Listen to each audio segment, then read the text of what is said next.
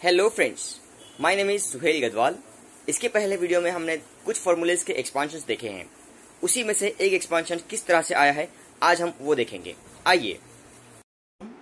A plus B bracket square इस फॉर्मूले का एक्सपांशन किस तरह से आया है, ये दो तरीकों में देखेंगे। उसमें से पहला तरीका है A plus B bracket square square का मतलब होता है टू टाइम्स यहाँ पे होल ब्रैकेट का स्क्वायर है. इट मींस ये होल ब्रैकेट टू टाइम्स आएगा. That is is equal to bracket A plus B other bracket A plus B जब कभी ऐसे दो ब्रैकेट्स आते हैं, उनके दरमियान में कोई साइन न हो तो देर इज़ ऑलवेज मल्टीप्लीकेशन साइंस ओके वहाँ पे हमेशा जर्ब का साइन होता है. अब ऐसे दो ब्रैकेट्स का मल्टीप्लीकेशन किस तरह से करेंगे?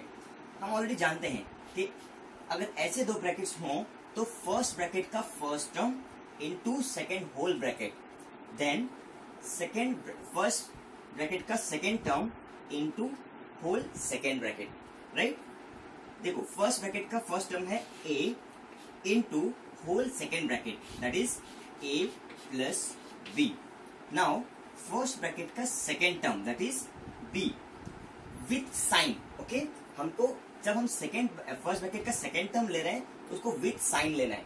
यहाँ पे कौन सा साइन है? प्लस दैट इज़ प्लस और B then multiply with the second whole bracket that is A plus B right अब ये एक टर्म को होल ब्रैकेट से किस तरह से मल्टीप्लाई करेंगे? पहले ये फ़र्स्ट टर्म इनटू ये ब्रैकेट का फ़र्स्ट टर्म से मल्टीप्लाई करो। A into A that is A का square right now then second bracket का साइन प्लस है ओके okay? यहाँ पे फ़र्स्ट टर्म जो है, उसका साइन कुछ नहीं है मतलब कौन सा साइन होता है वहाँ पे? ऑलवेज प्लस साइन होता है। यहाँ पे ए को प्लस साइन रहेगा। फिर plus A into plus B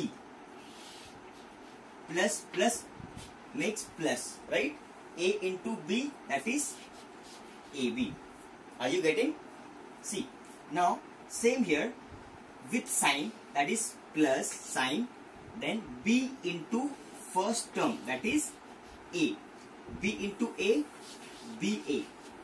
Next, b का साइन है plus plus into plus that is plus now B into this B B into B that is B square right now see here A B and B A जब कभी ऐसे दो दो alphabets होते हैं तो उनके दरमियान भी क्या होता है? मल्टीप्लीकेशन का साइन होता है। यहाँ पे ए बी हो या बी ए हो, दोनों का मीनिंग सेम होता है राइट तो a b plus a b there will be two a b बराबर है? First a a square as it is then sign है plus a b plus a b that is two a b okay next is plus b square ये किसका explanation हो गया? A plus b bracket square का explanation हो गया। इस तरह से ये एक तरीका हुआ जिसमें हम प्रूफ कर चुके हैं कि a plus b bracket square का एक्सप्लेनेशन इस तरह से आता है। मेथड देखने से पहले हमें दो चीज़ों का मालूम होना बहुत ज़रूरी है। वो है एरिया ऑफ़ स्क्वायर और area of rectangle that is मुरब्बे का रकबा और मुस्ततील का रकबा this is a area of square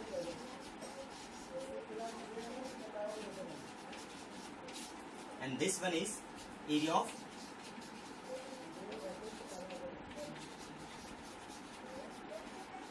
rectangle.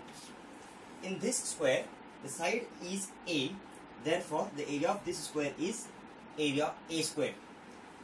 And here the length and width of this rectangle is A and B. Therefore, the area of this rectangle will be A into B. The same concept we have to use here. Suppose this is a square. इस square को मैं four parts में divide करने वाला हूँ सी इस तरह से ओके इसमें चार सेक्शन हो चुके हैं। दो रेक्टेंगल दो रेक्टेंगल और दो स्क्वायर्स ओके मैं इन चारों को नंबर्स दूँगा।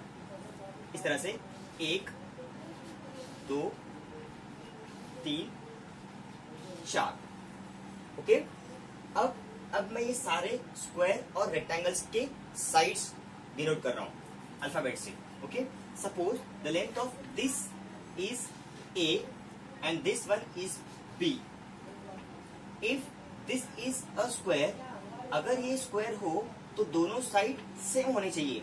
यहाँ पे बी है तो यहाँ पे भी बी आएगा right now this is next is rectangle here length is a and width is b again same next one is also a square if suppose मैंने ये स्क्वायर का एक साइड ए बोला है तो नेक्स्ट साइड भी ए होगा राइट इस फोर्थ नंबर पे एक रेक्टेंगल है, यहाँ पे इसका लेंथ है ए तो विड आएगी बी ओके इस तरह से हमने इसको चारों साइड्स को नेमिंग दिया है अल्फ़ाबेट से।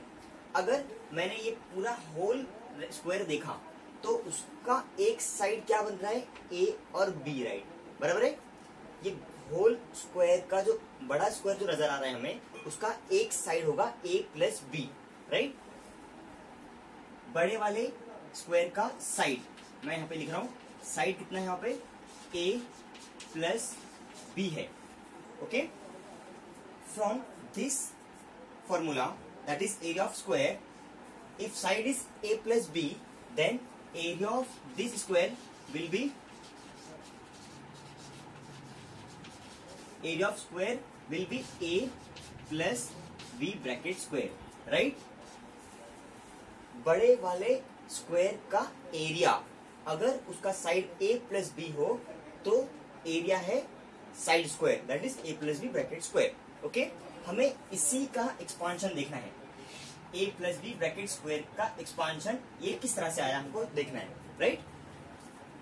बड़े वाले स्क्वायर का एरिया फाइंड आउट करने के लिए हमें क्या करना पड़ा, क्या करना होगा? अंदर वाले सारे रीजन्स के एरिया फाइंड आउट करने होंगे। जैसे कि हमने नेमिंग दिया हुआ है वन टू थ्री फोर हम इस नंबर वाइज सिक्वेंशली हर एक का एरिया फाइंड आउट करेंगे। नंबर वन पे है एक स्क्वायर जिसका साइड है ए तो फ़र्स्ट का एरिया फ़र्स्ट रीजन कौन सा है? स्क्वायर है। Then area of first region will be a square right now second one second number पे एक रेक्टेंगल नज़र आ रहा है हमें, जिसका लेंथ है ए और विड्थ है बी इस रेक्टेंगल का एरिया फाइंड आउट करना है तो length into breadth area of second region that will be length into breadth that is a into b that is a b right same इसी तरह से तीसरे नंबर पर एक और स्क्वायर है, जिसका साइड है बी तो एरिया ऑफ़ थर्ड रीजन जिसका साइड है बी उसका एरिया होगा बी स्क्वायर राइट इसी तरह से फोर्थ नंबर पर एक और रेक्टेंगल है, जिसका लेंथ ए और विड बी है. इसी तरह से area of fourth region that will be length into breadth because ये एक रेक्टेंगल है. Rectangle, area of rectangle is length into breadth. That is a into b is equal to ab right? इस बड़े वाले स्क्वायर का area हमने लिखा है a plus b bracket square ये एरिया अंदर वाले सारे रीजन्स के एरिया के एडिशन के बराबर होगा राइट तो हम क्या करेंगे? A plus that is a plus b bracket square will be equal to the sum of this all regions right? First is a square plus ab plus again that is b square now again plus ab okay? This ab and this ab will be 2ab because here also plus sign and here also plus sign. Ab plus ab will be 2ab. We can write in this way, a square plus 2ab plus b square. Okay? जो कि a plus b bracket square के बराबर है यही हमको proof करना था right same हमने फ़र्स्ट मेथड इस तरह से देखा a plus b bracket square का expansion a square plus two a b plus b square here also in this method we can we prove that a plus b bracket square is equal to a square plus two a b plus b square